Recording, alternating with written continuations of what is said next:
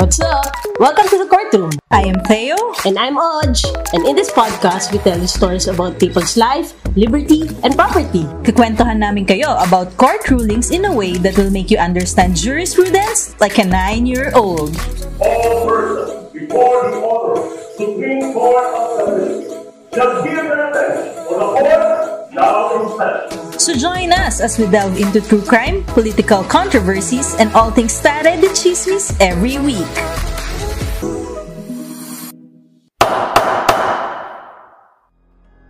The Pereñas were engaged in the business of transporting students to and from their homes in Parañaque City to Don Bosco, Makati, using a Kia Ceres van which can transport 14 students at a time. Dalawa dito umuupo sa harap sa tabi ng driver, yung iba sa likod, 6 students on either side. Ang driver nito is yung employee nila na si Clemente Alfaro. Parang familiar yung surname. ah. Parang kakagaling lang natin kay Alfaro two episodes ago. Uh, anyway, in June 1996, the Sarates contracted the Pereñas to transport their son Aaron to and from Don Bosco. On August 22, 1996, tulad ng mga nakaraang araw, sinundo ng van si Aaron sa bahay nila around 6 a.m. Umupo si Aaron sa left side ng van malapit sa rear door. Bukas ang aircon at malakas ang patugtog ng stereo. Sakay ng van ang 14 na estudyante papuntang Don Bosco. Dapat 7.15 a.m. nasa Don Bosco na sila. Kaso, sobrang traffic sa South Super Highway. Since malilate na sila, nag-take ng alternate route si Alfaro around 6.45 a.m. He traversed the narrow path underneath the Magallanes interchange that uh, was then commonly used by Makati-bound vehicles as a shortcut into Makati. That time, may mga piles of construction materials and parked passenger jeepneys dun sa makitid na shortcut. And yung railroad crossing doon sa narrow path, walang railroad warning signs or watchmen or other responsible person manning the crossing. In fact, nakataas pa nga yung bamboo railing which leaves the railroad crossing open sa mga motorista. So, at about the time the van was to traverse the railroad uh, crossing, may PNR train na padating traveling northbound, which was operated by Johnny Alano. Habang palapit yung train sa crossing, patawid naman yung van sa railroad tracks going east. Hindi napansin ni Alfaro yung padating na train since nag-overtake siya sa left side ng passenger bus. So, nakablock yung bus doon sa view ng train. The train blew its horn to warn motorists of its approach. When it was about 50 meters away from the passenger bus uh, and the van, Alano applied the ordinary brakes of the train. Nag-emergency brakes lang siya nung nakita niya na magkakabanggaan na. The passenger bus successfully crossed the railroad tracks, but the van driven by Alfaro did not. Nabangga ng train yung rear end ng van. Because of the impact, it threw 9 of the 12 students in the rear, including Aaron, out of the van. Humagi si Aaron at bumagsak sa daanan ng tren. His body was dragged and his head severed, which instantaneously killed him. Alano fled the scene on board the train and did not wait for the police investigator to arrive. Devastated by the early and unexpected death of Aaron, the Sarates filed an action for damages against Alfaro, the Pereñas, PNR, and Alano. They claim against the Pereñas that there was a breach of contract of carriage for the safe transport of Aaron and sa PNR based on quasi-delict under Article 2176 of the Civil Code. In their defense, the Pereñas adduced evidence to show that they had exercised the diligence of a good father of the family in the selection and supervision of Alfaro. They made sure naman daw na may driver's license si Alfaro at never siya na involved sa kahit anong vehicular accident prior to the collision. At yung sariling anak nga daw nila, sumasakay din dun sa van daily. Pati si Teodoro Pereña na minsan sinasamahan si Alfaro para i-transport yung mga students sa school. Yung PNR naman tried to show na yung proximate cause ng collision is yung reckless crossing ng van na yung driver hindi man lang nag-stop, looked and listened. Saka yung narrow path na dinadaanan ng van had not been intended to be a railroad crossing for motorists. Nagrule dito yung RTC in favor of the Zarates eh. So, the Pereñas and PNR were ordered to jointly and severally pay damages to the Zarates. Inaffirm ng CA yung findings ng RTC, although nilimit nila yung moral damages to 2.5 million. They also upheld the award for the loss of Aaron's earning capacity. So, surely, may nag-appeal sa SC. Yes. Nag-appeal, syempre, sila Pereñas. Ano kaya ang issue na sasagutin ngayon ng Supreme Court? Tatlong issues dito sa case na to, Odse. One, were the Pereñas and PNR jointly and severally liable for damages? Two, was the indemnity for loss of Aaron's earning capacity proper? And three, were the amount of damages excessive? Okay, first issue tayo. If jointly and severally liable nga ba sila Pereñas and PNR? Before to sagutin ng Supreme Court, kailangan muna masettle yung question if common carrier ba o private carrier yung school bus nila Pereñas. Ano nga ba sila? Sabi ng SC, they operate as a common carrier. And take note, Odsha, as a common carrier, their standard of care was extraordinary diligence, not ordinary diligence of a good father of a family. Right. Usually kasi, yung operator ng school bus service, they are regarded as a private carrier. Primarily because they only cater to some specific or privileged individuals. Saka yung operation nila is neither open to the indefinite public nor for public use. So, hindi pa talaga finally settled yung exact nature of operation ng school bus service. Pero para mas clear, uh, Teo, how does the Supreme Court define carrier? Ah, ganito lang yan. As per the SC, a carrier is a person or corporation who undertakes to transport or convey goods or persons from one place to another gratuitously, meaning for free, or for hire.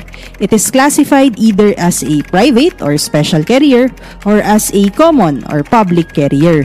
Pag private carrier, hindi business or vocation yung pagtatransport ng goods or person from one place to another.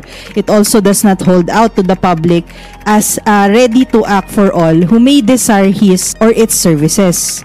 In short, hindi readily available sa public or sa lahat yung services nila. More on by uh, special arrangement lang in particular instance. Kaya, kaya sila nagtatransport ng goods or persons. Either gratuitously or for hire. The provision on ordinary contracts of the Civil Code governs the contract of private carriage. And the diligence required of a private carriage is only ordinary.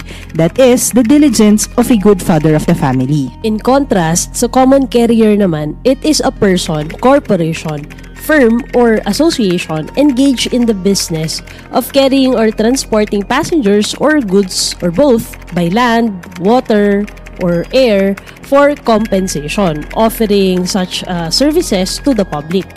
Contracts of common carriage are governed by the provisions on common carriers of the Civil Code, the Public Service Act, and other uh, special laws relating to transportation. And as a common carrier, required sila to observe extraordinary diligence and uh, it is presumed to be at fault or to have acted negligently in case of the loss of the effects of uh, passengers or the death or injuries to passengers. So in short, pag may aksidente na nangyari na na-injure yung passenger or merong death, pag common carrier, automatically presumed fault nila or nag-act sila negligently? Yes, take note, presumed they can actually rebut or prove it otherwise. Uh, anyway, may sinasabi din yung SC about true test for uh, common carrier. Ay, hindi ko alam yan. ah, yung ano, true test uh, for common carrier. Actually, yung true test daw for common carrier is not the quantity or extent of the business uh, actually transacted or the number and character of the conveyances used in the activity, but whether the undertaking is part of the activity engaged in by the carrier that he has held out to the general public as his business or occupation. So, yun nga, explain mo nga, oh, just further. So, yun nga, if yung undertaking is a single transaction, hindi siya part ng general business or occupation engaged in, As advertised and held out to the general public, the individual or the entity rendering such service is a private, not a common carrier. The question must be determined by the character of the business actually carried on by the carrier. Not by any secret intention or mental reservation, it may entertain or assert when charged with the duties and obligations that the law imposes. So, sa case na to, undeniable daw na yung mga yung spouses perennias as the operator of a school bus service where A. Engage in transporting passengers generally as a business, not just a casual occupation. B. Undertaking to carry passengers over established roads by the methods uh, by which the business was conducted. And letter C. Transporting students for a certain fee. Kaya kahit limited pa yung clients nila, they operated as a common carrier because they held themselves out as a ready transportation indiscriminately to the students of a particular school, uh, living within or near where they operated the service and for a certain fee. And sa Article uh, 1755 of the Civil Code, a common carrier should carry the passengers safely as far as the human care and foresight can provide using the utmost diligence of a very cautious persons with a due regard for all the circumstances. Bound sila to observe extraordinary diligence in the vigilance over the goods and for the passen- uh, for the safety of the passengers transported by them. Pero na-mention natin kanina in relation to extraordinary diligence of a good father na pwedeng i-rebut yung presumption of fault or negligence in case of death or injury to the passenger. Ask me how, Teo. Parang bangko, ask me how. O sige na, how? Yon, so since common carrier yung school bus nila Pereñas, presumed negligent na sila at the time of the accident kasi meron passenger na namatay. So, nasa kanila yung burden of evidence to establish na hindi sila naging negligent.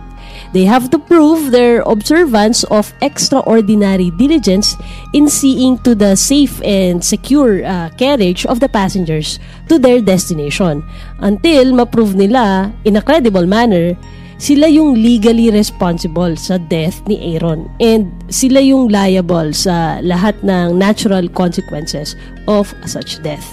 Kaso sa kaso, yan? The Pereñas have not uh, have not presented any compelling defense to fend off their liability. In Article 1759 of the Civil Code, their liability as a common carrier did not cease upon proof that they exercise all the diligence uh, of a good father of the family in the selection and supervision of their employee. So, hindi daw enough yung defense nila na yon na they have observed naman the diligence of a good father of a family in the selection and supervision of their driver. Liable pa din daw yung Pereñas for the death of Aaron despite the fact na yung driver nila might have acted beyond the scope of his authority or even in violation of the orders of the common carrier which actually sa records pinapakita na meron nga talagang actual negligence yung driver. Kaya, the Supreme Court agrees sa lower courts when they held both the Pereñas and PNR jointly and severally liable for damages arising from the death of Aaron. Although, magkaiba sila ng basis. Yung spouses Sarate sa right to relief, breach of contract of carriage yung sa Pereñas, and quasi-delict under Article 2176 of the Civil Code yung sa PNR. Uh, nonetheless, jointly and severally liable pa din sila by virtue of their respective negligence combining to cause the death of Aaron. Right, kasi as to PNR, guilty sila of negligence since they did not ensure the safety of others. Wala man lang kasi silang nilagay na crossbars, signal lights, warning signs, and other permanent safety barriers para naman ma-prevent yung mga vehicles or pedestrians from crossing there. And the fact na meron silang crossing guard na ina-assign doon from 7 a.m. to 5 p.m. means na aware nga sila na merong risk. So, yung uh, uh, PNR cannot escape liability. Okay, so paano naman yung questions ng Pereñas about sa inaward na indemnity for loss of Aaron's earning capacity. Parang ang nangyari dito is kinonsider ng lower court yung possible future and earnings ni Aaron eh, and from that awarded damages as well. Ah, yeah. Kasi nga, high school student pa lang si Aaron eh when the incident happened. Although, he was enrolled in one of the reputable schools in the Philippines, which is Don Bosco Makati. And normal and able-bodied child naman siya prior to his death. So, ang naging basis for the computation of Aaron's earning capacity was the minimum wage in effect at the time of his death. And yung computation of his life expectancy rate was not reckoned from his age of 15 years at the time of his death but on 21 years yung age niya when he would have graduated from college. Reasonable and fully warranted naman daw yung sinabi ng Supreme Court since the computation of Aaron's earning capacity was premised on him being a lowly minimum wage earner despite his being then enrolled at the prestigious high school like Don Bosco in Makati. A fact that would have likely ensured his success in his uh, later years in life and at work. Uh, at saka, hindi daw dapat i-take against sa spouses Zarate if wala pang history of earning si Aaron since dahil mismo sa uh, negligence ng mga defendants, kaya namatay si Aaron at nawala pati yung opportunity at right niya to work and uh, earn money. More than that, na-deprived pati yung parents niya of their right to his presence and his services. Yes, sabi din sa law natin, the loss of the earning capacity of the deceased shall be the liability of the guilty party in favor of the heirs of the deceased and shall, in every case, be assessed and awarded by the court unless the deceased on uh, account of permanent physical disability not caused by the defendant had no earning capacity at the time of his death. So the court held in favor of the indemnification for Aaron's loss of earning capacity kahit na unemployed pa siya uh, since compensation of this nature is awarded not for uh, loss of time or earnings but for loss of the deceased power or ability to earn money. But wait, there's more. Umaapila pa din ang Pereñas kasi excessive naman daw masyado yung inaward na damages. Baka naman pwede daw i-reduce yung moral damages na 2.5 million at yung exemplary damages na 1. Point, ah, sorry, 1 million. So, 'di ba gusto mo yung tumatawad pa. So, anong say ng SE dito, Oj? Well, sabi ng SE, nope just and reasonable lang daw yung moral damages na 2.5 million. Kasi they were intended by the law to appease the Zarates' deep mental anguish over their son's unexpected and violent death and their moral shock over the senseless accident. So, hindi too much yung amount na yun considering na nawalan sila ng anak, di ba? And uh, it would be an injustice pa nga daw kila Zarate if the amount will be reduced given na sobrang tagal na nilang dala yung sakit ng pagkawala ng anak nila. Simula pa nung August 22, 1996, di ba? Grabe, siguro ang sakit at sama ng loob na nararamdaman at dinadala ng mga sarates for so many years. Doon naman sa 1 million na exemplary damages, hindi daw i-reduce ng SC yung amount so it can uh, set as an example for uh, the public good. As a common carrier, Pereñas needed to be vigorously reminded to observe the duty to exercise extraordinary diligence to prevent a similarly senseless accident from happening again. And only by an award of exemplary damages in that amount would suffice to instill in them and others similarly uh, similarly situated like them the ever-present need for greater and constant vigilance in the conduct of a business imbued with public interest. So in the end, the Supreme Court denies the petition of the spouses Pereñas and ordered them to pay the cost of suit.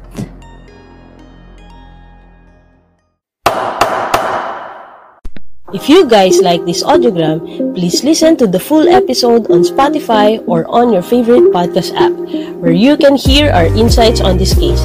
Again, this is Oj. And Theo, leaving you with a reminder to always look back in history because precedent shall rule the future. Thank you for listening and we'll see you again in the courtroom. Bye!